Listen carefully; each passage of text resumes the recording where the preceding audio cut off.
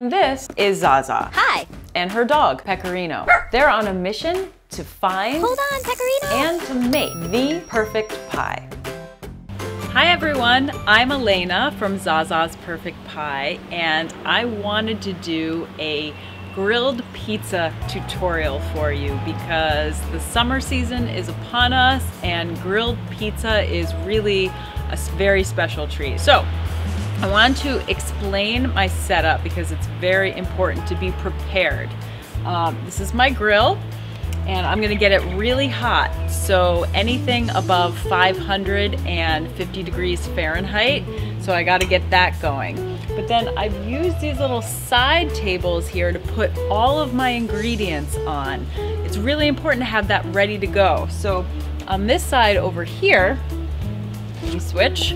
On this side over here, I have all of my ingredients in small bowls with the spoons that I'll use to put it on the pizza.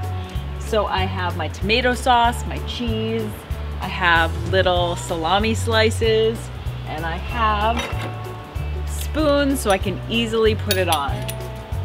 The other thing I have ready are my tools. I have some metal tongs and a metal spatula, and I have a cutting board, which I will put my finished pizza on.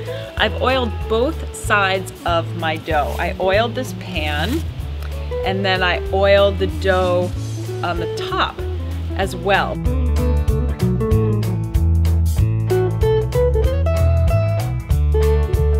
Because what I'm gonna do is when this grill gets really hot, I am going to flip it over and it's gonna land on the grill grate and because I've oiled it, it won't stick.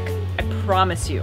I do not use a pizza stone on my grill. I put the dough directly on the grate and I oil the food, not the grill grate.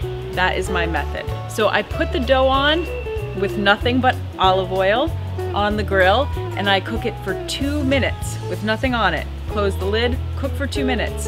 Then I open the lid up I flip the dough over using my handy utensils, top it quickly, which is why I'm prepared, and then I close it and cook for two more minutes.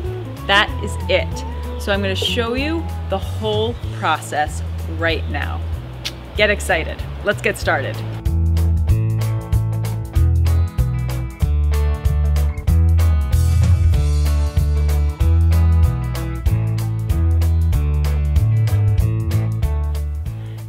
Worry if when you flip your pizza dough over onto the grill, it doesn't really have a perfectly round shape. It'll still taste perfect. I close the lid and I cook it for two minutes at 550 degrees or above. When I open the lid, I need to use my handy metal tools, my spatula and my tongs to flip it over.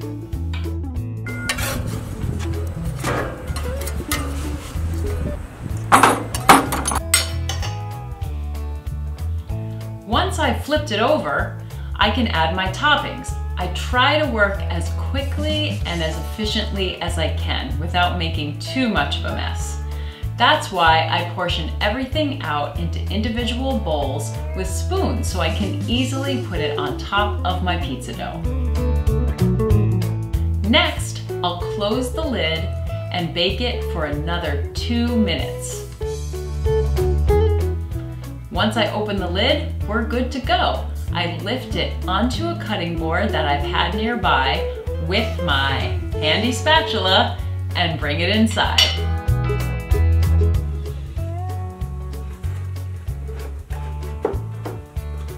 Once it's off the grill, I can put some garnishes on top that aren't necessary to bake in the grill.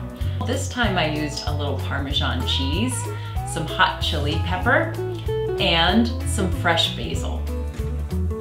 Now it's time to cut and serve it and look at those pretty grill stripes you've got on your pizza.